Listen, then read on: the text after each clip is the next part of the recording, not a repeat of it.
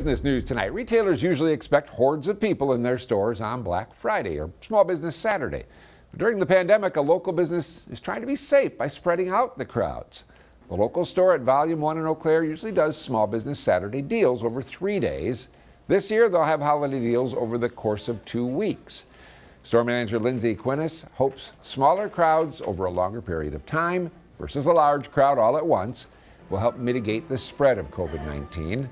In addition, they're pushing customers toward their online store and also allowing some people to shop in the store an hour early before doors actually even open.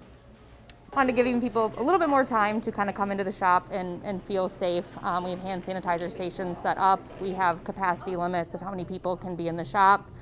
Um, we're making sure everybody is wearing masks. We have free ones here for people if, if they need one. So um, just trying to do as much as we can to kind of make people feel comfortable and still kind of have fun this holiday season. The local store's specials go until November 29th, including 15% off any purchase of $50 or more. Tangled Up in Hue and That's Adorable are also extending their Black Friday deals. Other major retail chains like Menards and Target have announced similar plans to spread out their sales.